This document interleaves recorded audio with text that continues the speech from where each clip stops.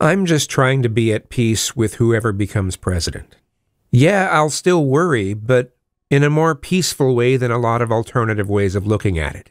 If Trump becomes president, I'll have to worry about the negative sides to Agenda 47 and bits and pieces of Project 2025, which includes dissolving the Department of Education, as well as a number of other departments, as well as how it will affect the LGBT community.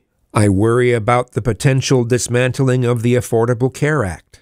I worry about our government's ability to pay for the programs that already exist because of Trump's desire to lower taxes for the very rich. And I worry about Trump's fascination with authoritarian dictators. If Kamala Harris becomes president, I have to worry about high crime, especially things like theft and being assaulted on the street. Yeah, I see that increasing in larger and medium sized cities because there's no federal pressure to change any of it. You know, not doing anything about this stuff that's increasing is is going to just make it worse. I worry about a defund the police kind of attitude. I worry about the negative sides to ideological DEI programs. I worry about the security of our borders and the effects of unchecked illegal immigration.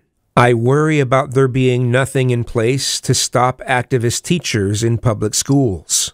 I worry about attacks on the First Amendment. I worry about the government stepping in and telling both news media and social media what they can and cannot allow on their platforms. I worry about going gung ho on environmentalism, which would increase inflation, increase gas prices, and partially destroy our economy in the process.